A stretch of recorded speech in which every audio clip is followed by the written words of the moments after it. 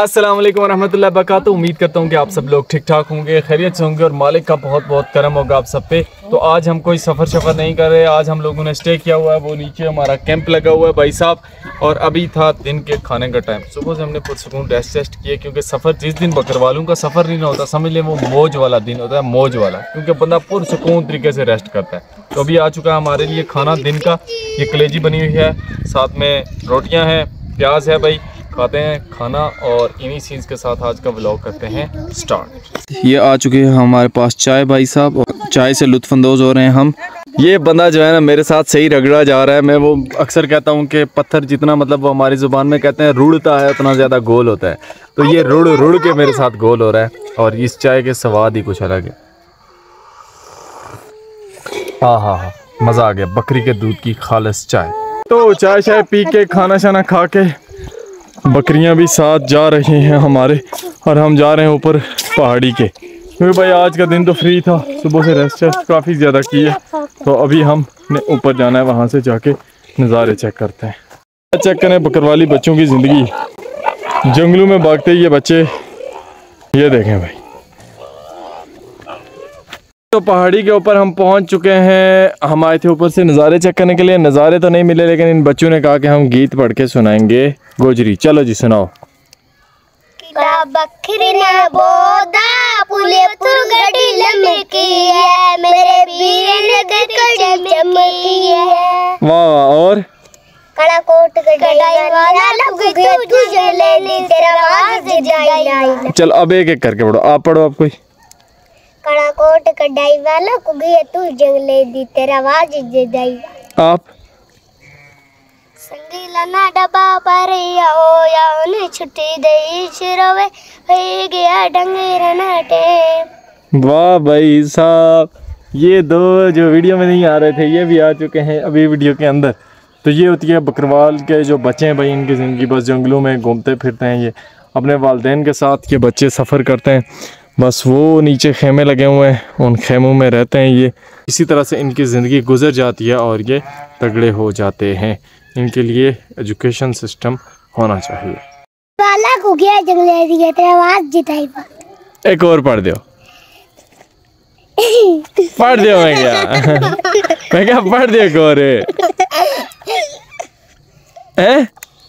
ये इसने टॉफ़ी के लिए पढ़ा था ये रही इसकी टॉफ़ी। ये बाकी सारे बैक साइड पे आ जाते हैं देखते हैं कैमरे में क्या नज़र आ रहा है। इन बच्चों के साथ कम्युनिकेशन का बड़ा मसला ये होता है कि इनकी लैंग्वेज थोड़ी वो गोजरी बोलते हैं और हम बोलते हैं भाई अपनी ज़ुबान तो इसलिए थोड़ा मसला आता है। तो अभी इनसे पूछते हैं थारे कोल कितनी बकरियाँ?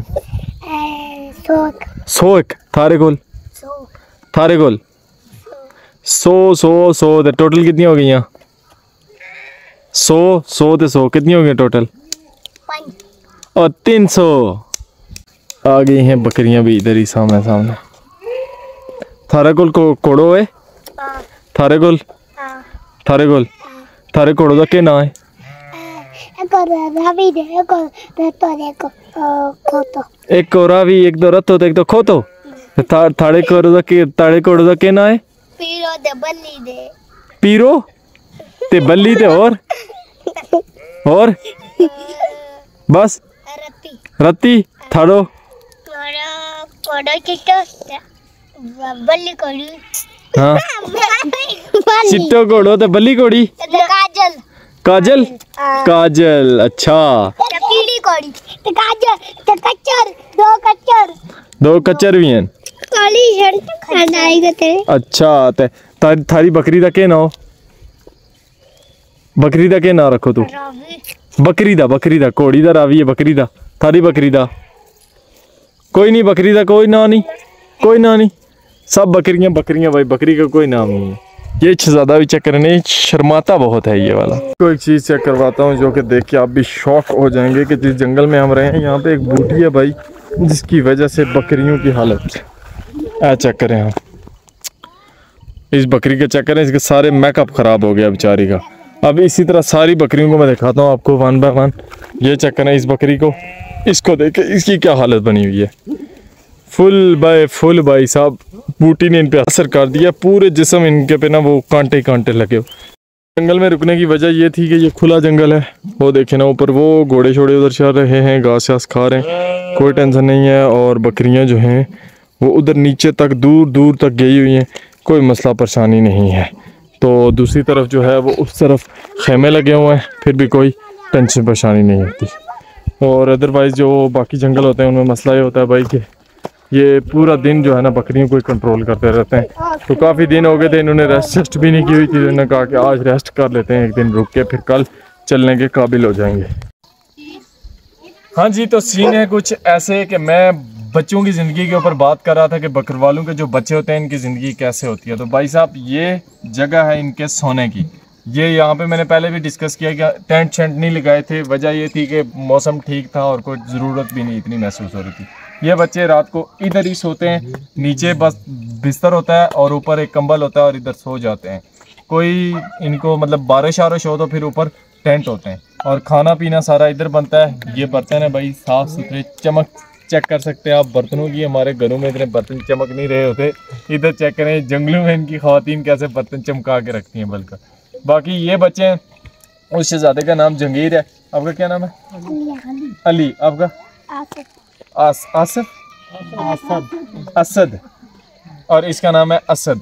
तो भाई साहब इसी तरह ये इनके बिस्तर शिस्तर सारी चीज़ें पड़ी हैं जो यहाँ पर ये बिछा के सोते हैं। ये इन बच्चों की ज़िंदगी है स्पेशली और ये पूरा दिन एक दूसरे को कहानियाँ सुनाते रहते हैं। ऐसे था वैसे था पूरा दिन बस ये स्टोरियाँ ही मैं इनकी अकेले बैठ के सुनता रहता हूँ कभी एक पत्थर के ऊपर बैठे हुए दूसरे को सुना रहे हैं कभी तीसरे को। और हाँ खिलौने की बात की जाए इनको भाई साहब ये जो ये डंडा है ना इनके लिए यही गाड़ी है। पूरा दिन इसको पकड़ के ऐसे डर डर को इधर भाग रहा है जंगल में उधर भाग रहा है यही इनके लिए गाड़ी है साइकिल है मोटरसाइकिल है सब कुछ है। ये अभी चला के दिखाएगा मोटरसाइकिल चला के दिखाओ कैसे चलाते हो? चलो अली आप चलाओ। चलाओ मोटरसाइकिल कैसे चलाते तो ऐसा चला नहीं रहा। सही करके चलाओ सही जो स्पीड में चलाएगा फिर उसको कल उधर से टॉफियाँ लेकर दूँगा चलो अभी टॉफियाँ ख़त्म हो गई है मेरे पास। हाँ तू नहीं शर्म कर हाँ तुम चलाओ जंगीर तुम चलाओ। हो गया। इधर आ इधर आ इधर।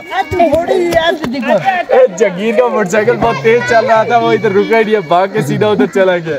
तो भाई साहब ये इन बच्चों की ज़िंदगी है। मैं दिखाया ना कैसे ड्रिन किया उसने तो। ये जब खुद बैठता है अभी कैमरे के सामने शर्मा भी रहा है। तो जब खुद बैठता है तो किस तरह से ये ड्रिन ड्रिन करता रहता है आप सोच भी नहीं सकते। तो ये इन बच्चों की ज़िंदगी है। चेक करें जी बच्चों के मोटर बाइक आ रहे हैं।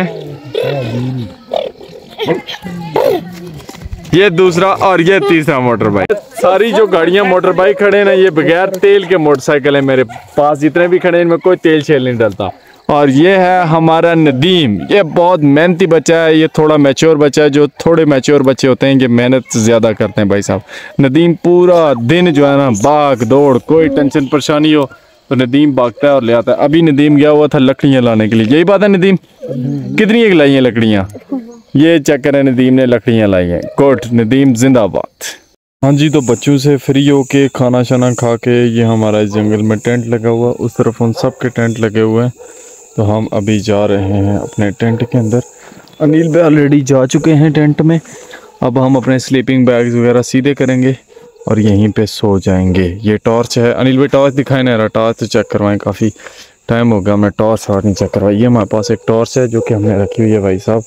दूर लगा के चेक करने के लिए। चेक करें इसकी लाइट कितनी हैवी है। अब मैं आपको इसका सिस्टम चेक करवाता हूँ, ये देखिएगा। हाय हाय हाय। जंगल में इस तरह की लाइट हो ना आपके पास तो दूर तक कोई भी चीज़ रात को आए, बिल्कुल क्लियर हमें जो है ना नज़र आ जाती है। इस तरफ़ ऊपर शूपर जहाँ पर भी जो भी चीज़ आएगी, हम उसको फ़ौर देख लेंगे। लेट्स सपोज़ ये बैठे हमारे अनिल भाई तो ये टेंट देखे हमारा फ़ौरन से किस तरह नज़र आना शुरू हुआ इस लाइट में। हाँ जी, अनिल भाई, कैसे हैं आप? ठीक हैं? से ठीक है आपकी? खराफियत से? अब आपको अंदर के नज़ारे चेक करवा देते हैं। ये रहा हमारा स्लीपिंग बैग और अनिल भाई स्लीपिंग बैग लगा के सोने लगे हैं अभी। माशाल्लाह। स्लीपिंग बैग की ज़रूरत ही नहीं है इधर। ये तकिए का काम करेगा, क्योंकि भाई साहब रात को होती है इधर। गर्मी इतनी ज़्यादा भी नहीं होती, लेकिन ठीक है मौसम मतलब इतनी ज़रूरत नहीं होती कि आप जो है ना पूरा बैग के अंदर जाके सोएँ क्योंकि ये बैग बने हुए हैं सर्दी के लिए। ये टेंट है जी ये रात को क्लोज़ कर देंगे इधर से और फिट फाट सिस्टम हो जाएगा। हाँ जी तो इस वक्त है रात का टाइम बारिश लगी हुई है। मैं और अनिल भाई हम दोनों बैठे हैं टेंट के अंदर के। भाई साहब पानी अंदर ना आ जाए अगर अंदर आ गया तो हमारी पूरी हालत हो जाएगी। ये आ चुकी है बहुत ही ज़्यादा तेज़ हवा अल्लाह करे हमारा टेंट ना उड़ जाए। भाई साहब ये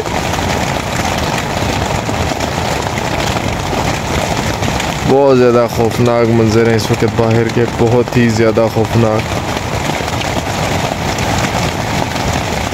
या अल्लाह खैर।